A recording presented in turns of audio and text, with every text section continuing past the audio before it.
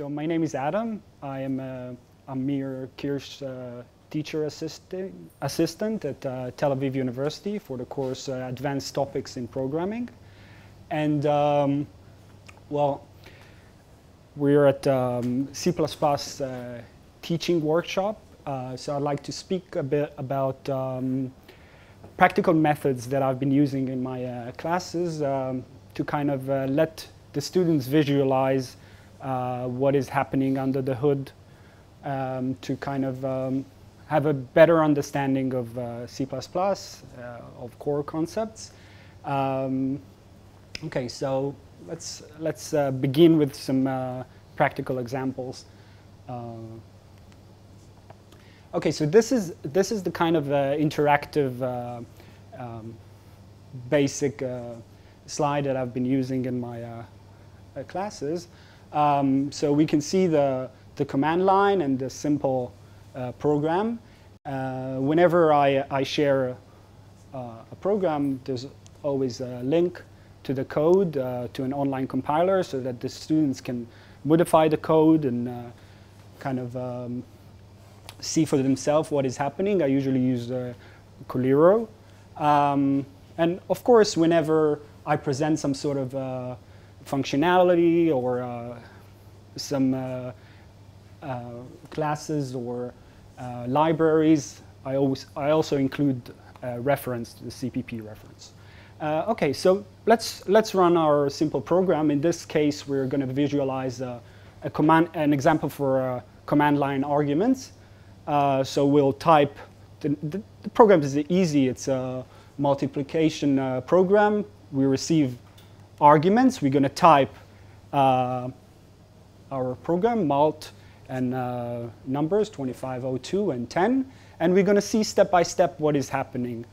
Because, um, okay, one of the things that um, I think are a little bit um, hard for students who are beginners with C or C++ is like is the argv. What exactly is the argv? What is a pointer to a pointer? And uh, so let's see. Okay, so the argv.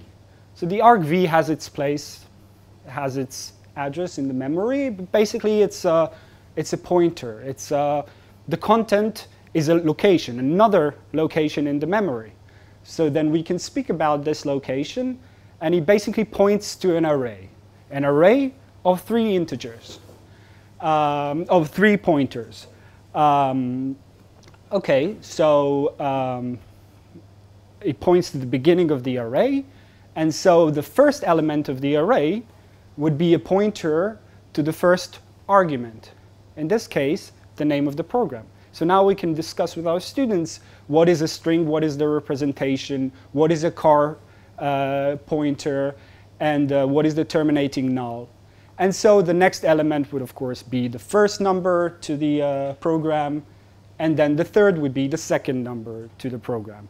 Um, with this kind of diagram, we can also show uh, what is the dereferencing uh, operator. What is an asterisk argv? We can see that it's basically the first element of the array of pointers. And what is asterisk argv0? It's basically the first character in the first argument or in the first string. Um, okay, so we can actually visualize this and um, let's step into another uh, confusing uh, uh, topic for, uh, for beginners, and that is uh, what is really happening in the heap and the stack. Um, what's, what's the relationship between them, and how does the program uh, behave? So let's, let's interactively run our program. Um, okay, so we start with our main. So when main starts, in the beginning, we have the, the stack frame that belongs to it. So this gray box would represent the overhead of the calling. Could be the return address, but also uh, internal registers that need to be saved across the, uh, the function calling process. Um, so whenever we see this, um, this, this will be the overhead. But then we have the four bytes that are reserved uh, for the result, for the first integer. And that would, uh, that would be initialized to zero, so we can actually see the, the content of, these, uh, of this uh, integer. Okay, um, so now we step into the next uh, line of the code. And now we have a dynamic allocation. So what is really happening there? So we can introduce the heap. And there we have a new array of size 2, and we have uh, 2 and 3, both values are initialized. And then in our main, we have the pointer uh, to this array. So it would simply be, again, we can see a pointer, and uh, we, can, uh, we can see that it points to this area in the memory. Um, okay, so now we, we can understand the relationship uh, between the heap and the, and the stack. So now another very important uh, thing that we need to discuss when discussing about uh, heap and stack would be what's happening when we call a function. So in this case, we're going to call this uh, simple function, uh, sum2, that would simply uh, sum the two integers and return the value. Okay, so in this case, um, we're going to open a new uh, frame on the stack.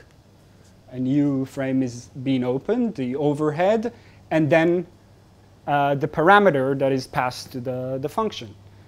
Here, we see a, new parameter, r, that is simply a bitwise copy of um, the array the, the pointers. So now we can discuss about uh, bitwise copy, about uh, shallow copies versus uh, deep copies, and I think it's very helpful to see also that.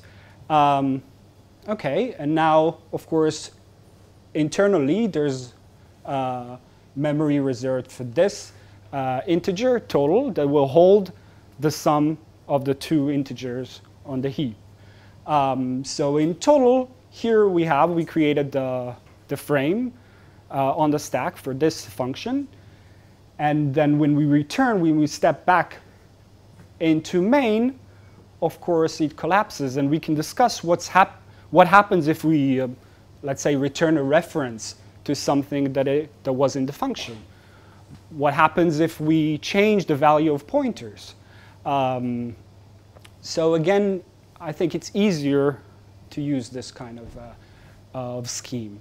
Um, I've also included in the, in the lecture notes and also the, the previous slide uh, holds, um, uh, holds the code in, uh, in Coliru and compiled, of course, uh, let's say the overhead and the, structure changes from one architecture to another and also with different kinds of compilers, let's say the, uh, the order of parameters, uh, versus uh, the order of local variables. So we don't have to uh, we don't have to go into these details in the beginning with our students, but I think it's it's very important to kind of understand um, and be aware that this is uh, architecture dependent and uh, can change. So it, this is um, I think the schematic um, option that would be most useful for students in the beginning. That's why I share it with you. Um, okay, so, um, so then we step back and result receives uh, uh, is now 5, uh, same as the return value. And then at last, we can go to, the, uh, to this uh, print and we get result onto the screen. Um, okay, so that was this example. And um, now a little short example uh, that was inspired by this code uh, on ISO CPP. Um, here, uh, I'd like to also introduce another uh, important concept in C++, and that is the order of creation and order of destruction.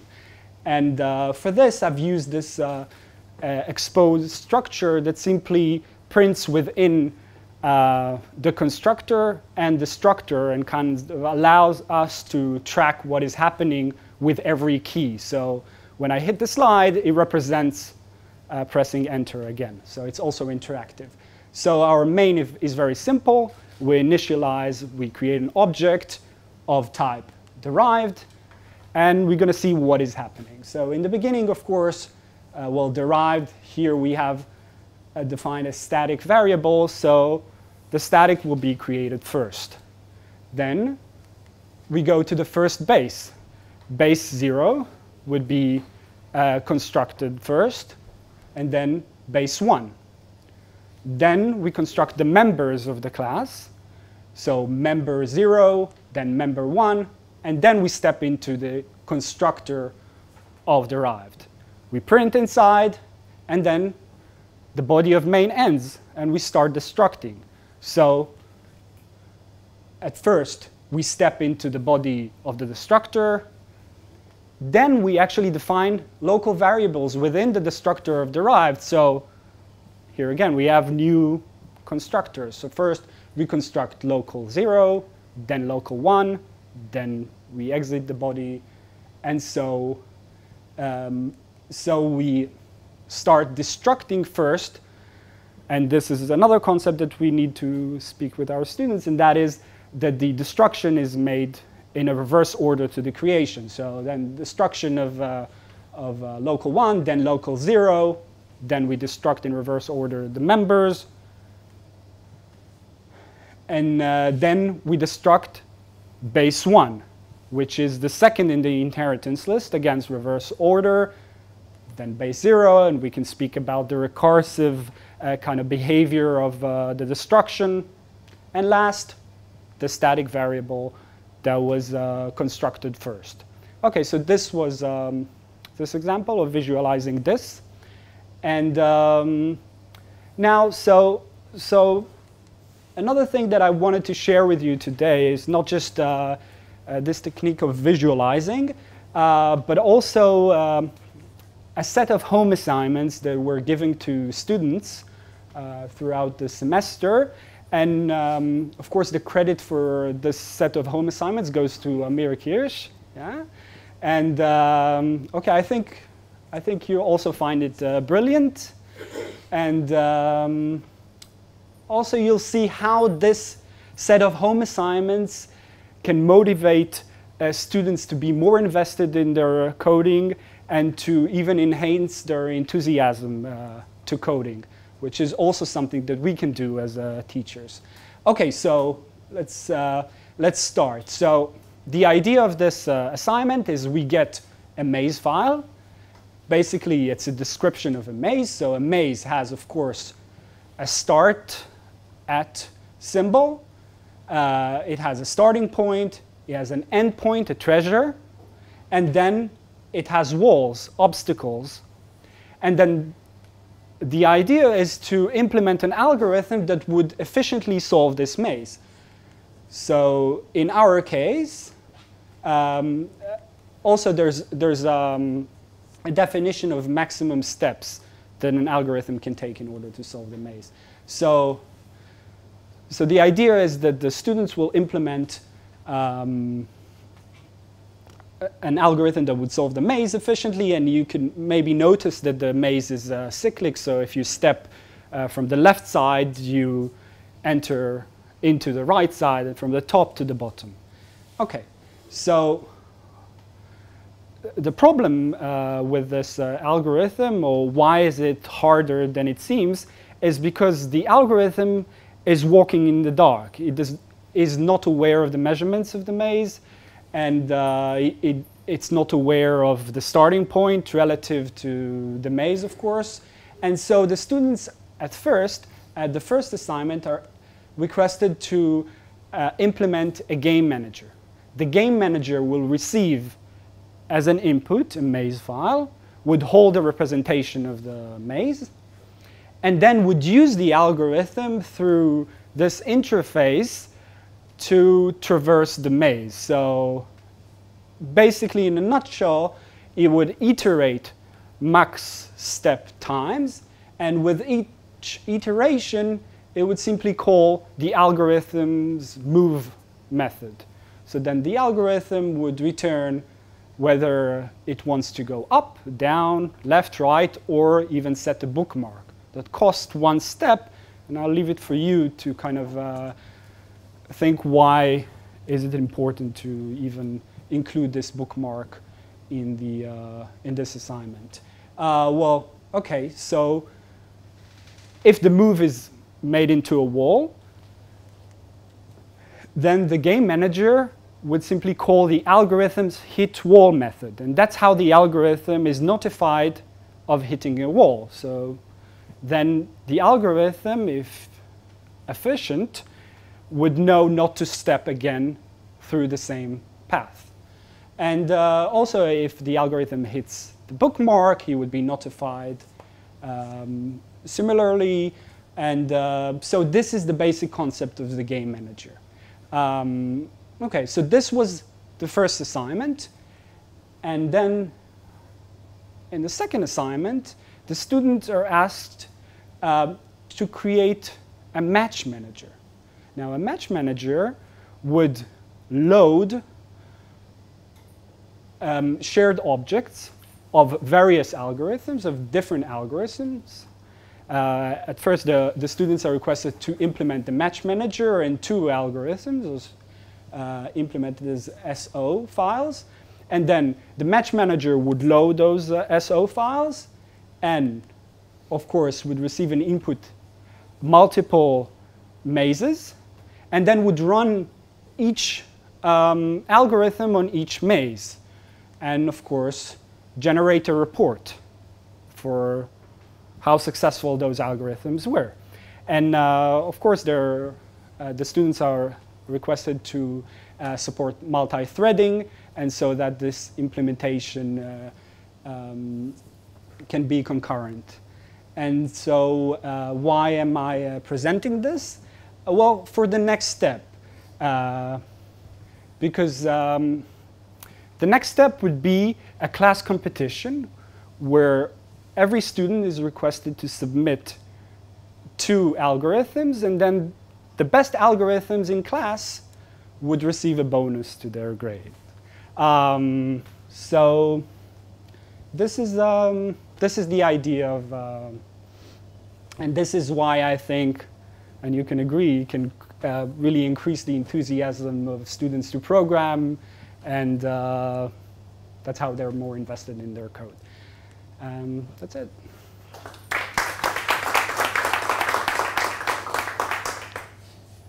Any questions? Yes. How did you evaluate the exercise? Because just uh, being the fastest is not enough. We also wanted to write nice code.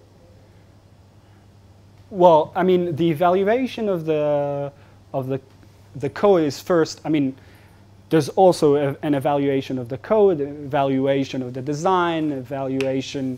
In the beginning, of course, there's uh, input and output and maybe several uh, um, uh, error messages that the students are required to follow. Uh, well, your then here uh, has done a great job to, to evaluate students. so, they all said okay here today. Uh we gave the students a day off. Uh uh but uh eventually you can do either, mean, we do both. You can do uh, students. so just to, check that uh, for a given maze, for a given maze, uh, for example, let have a maze with just you know two uh, dimensions of one and two. The only possible thing is just to meet the treasure. We want to see that they do that. And so you can, with uh, very simple mazes, you can check that they are doing legitimate things. Uh, and then we can, or, or uh, non-legitimate mazes, they give the correct arrow on the maze. And then we go on for uh, do's and don't do's and, and structure of the design and so, so on and so forth. Mm -hmm.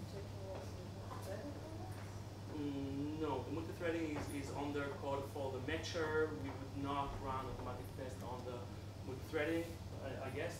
But uh, maybe just uh, to see it, that it supports uh, yeah, multi-threading. So, so you can check that when they do use multi-threading, they reach the correct output. Yes. So in your slides about the heap and stack visualization, yeah. Uh, do you discuss byte ordering? Because it seems like everything was big endian the memory? Um, well, I don't know if you noticed, but the, uh, actually the, the addresses of the heap and the stack are reversed, and the kind of diagram can actually, we can discuss that. I think in the beginning, uh, maybe it's a little bit too much, but uh, but yeah, I mean, with this kind of diagram, because I was looking for diagrams when, uh, and I, I couldn't find something that really could grasp everything together. And I think uh, with this kind of building blocks, you can discuss all of that. Yeah. Um,